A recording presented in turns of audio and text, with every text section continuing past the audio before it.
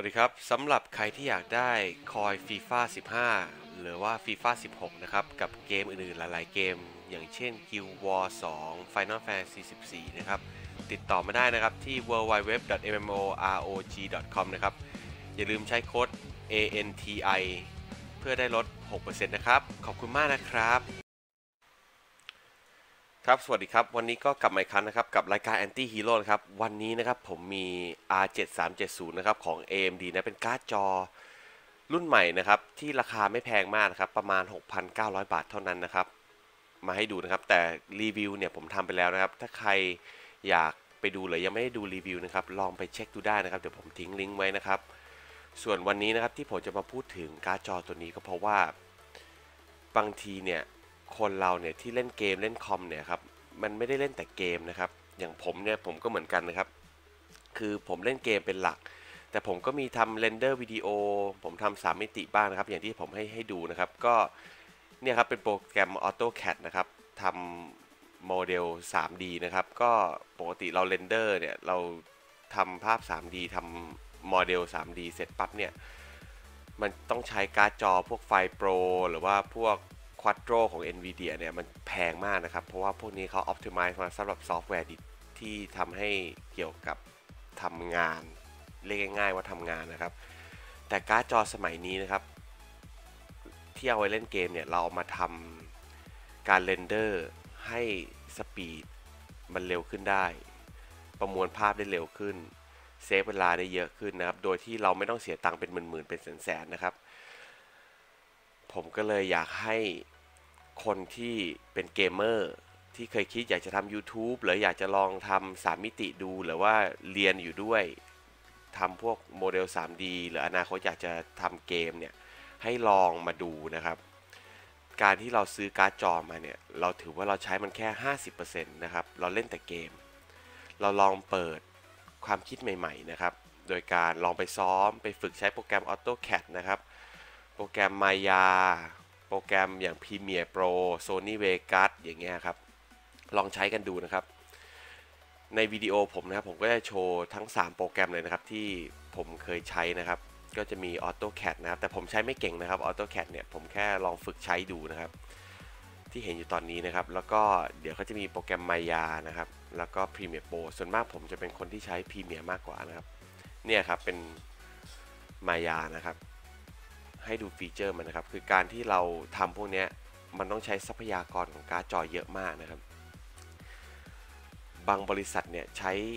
การ์ดจอ workstation เนี่ยเป็นแสนนะครับ อย่างของ AMD ก็เป็นไฟ Pro นะครับ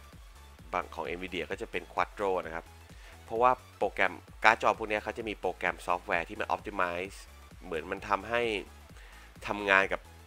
โปรแกรมอย่างพวกนี้ได้ดีขึ้นนะคิดง่ายๆอย่างนี้ว่าเขาจะมี driver พิเศษ แต่พอเนี้ยการ์ดจอรุ่น gaming รุ่นสมัยใหม่ ๆ เนี่ย มันแรงพอที่จะทำได้แล้ว โดยที่เราไม่ต้องเสียตังค์เป็นแสนๆนะครับ ที่จะใช้ และอย่างคือเราซื้อการ์ดจอพวกพวกนี้มาเนี่ยอย่างเช่น R7370 เนี่ยเพราะอะไรครับ เพราะเราอยากเล่นเกมถูกไหมครับ การที่เราเล่นเกมเนี่ย มันคือไม่ได้มีจุดเสียเลยนะครับ แต่ว่า เรามีทรัพยากรอีกครึ่งหนึ่งที่เราไม่เคยได้ใช้เลย เราไม่คิดว่ามันใช้ได้ด้วยซ้ำนะครับ วันนี้ผมก็เลยอยากจะมาแนะนำว่าเออลองลองไปใช้ดูนะครับ คุณอยากจะเรนเดอร์โปรแกรมอะไร คุณอยากจะลองทำวิดีโอ YouTube ก็ได้อะยกตัวอย่างง่ายๆเลย คนเล่นเกมเนี่ยอยากทำ YouTube ลองดูนะครับ ถ้าสมมุติผมไม่ใช้การ์ดจอ render วิดีโอ render นี่คือการประมวลภาพให้เสร็จเนี่ยครับ ของวิดีโอเนี่ย ถ้าผมใช้แค่ CPU หรือซอฟต์แวร์ render เนี่ย มันจะใช้อยู่มา 2 ชั่วโมงนะครับ 1 ชั่วโมงถึง2ชั่วโมงกว่าวิดีโอจะเสร็จพอผมใช้ GPU render คือใช้การ์ดจอ R7370 render เนี่ย ประมาณ 20-30 นาทีนะครับ เสร็จแล้วนะครับนั่นคือจุดดี แล้วเห็นตรงนี้ไหมครับ ที่มันจะมีแดงๆ ขึ้นมาตรงแถบวิดีโอเนี่ยครับ แดงๆ นี่คือตอนที่เรา เอาวิดีโอลงมาแล้ว โปรแกรม Premiere เนี่ยยังอัดวิดีโอไม่ได้เอ้ยยังประมวลภาพวิดีโอไม่ได้ มันจะใช้เวลานานเราต้องรอสักพักหนึ่ง แต่ถ้าเราใช้การ์ดจอนะครับ แป๊บเดียวเลยครับ ขึ้นมาจะเหลืองทันทีเลยครับ แล้วมันจะเร็วนะครับ ทุกอย่างจะจะทำเซฟเวลาคุณได้เยอะขึ้นนะครับ จะทำให้คุณคล่องแคล่วขึ้น จะทำให้คุณรู้สึกว่าเออคุณไม่ได้เปลืองเงินกับการซื้อการ์ดจอไป คุณไปบอกพ่อแม่คุณก็ได้ว่าเออเนี่ย ถึงซื้อมาทำซื้อมาเล่นเกมก็จริงนะ แต่ว่าเออผมก็พยายามศึกษาเรื่อง 3D graphic ผมศึกษาเรื่องการตัดต่อวิดีโอ นึกออกไหมครับ พ่อแม่คุณก็จะเห็นเออโอเค อย่างน้อยลูกกูก็ไม่ได้นั่งเล่นแต่เกม ถูกไหมครับ แล้วผมจะบอกให้นะครับ การ render วิดีโอเนี่ยเรียนไว้นะครับ ไม่เสียหายนะครับ ผมเรียนผมผมเองนี่ก็เรียนเองนะครับ ดูจาก YouTube เรียนเอานะครับ ถ้าสมมุติ เราต้องไป render วิดีโอให้คนอื่น ไปตัดต่อวิดีโอให้คนอื่นนะครับ ส่วนมากเราได้วิดีโอเนี่ยสองสามพันต่อวิดีโอเลยนะครับ นั่นคือรายได้เสริมที่คุณหาได้ โดยที่คุณไม่ต้องไปเรียนอะไรเพิ่มเติมเลยนะครับ เพราะฉะนั้นเนี่ยการที่คุณลงทุนกับการ์ดจอแค่ 6,000 กว่าเนี่ยมันไม่เท่าไหร่นะครับ แล้วผมมีข่าวดีนะครับ วันนี้นะครับผมก็มีการ์ดจอ R7 370 มาแจกนะครับ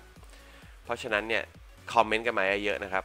กดไลค์นะครับแล้วกด subscribe นะครับทำสามอย่างนี้นะครับแล้วคุณจะมีสิทธิ์ลุ้นนะครับเดี๋ยวผมจะสุ่มให้นะครับว่าใครจะได้แล้วเดี๋ยวผมจะส่งไปให้นะครับ R7 370 ราคา 689 ผมแจกให้เลยนะครับ เพราะฉะนั้นรีบไลค์รีบคอมเมนต์แล้วก็รีบกดติดตามนะครับ subscribe ไปด้วยครับ ขอบคุณมากนะครับ แล้วก็ต้องขอขอบคุณทาง AMD ด้วยครับ ที่ให้การ์ดจอดีๆมานะครับ ขอบคุณมากครับ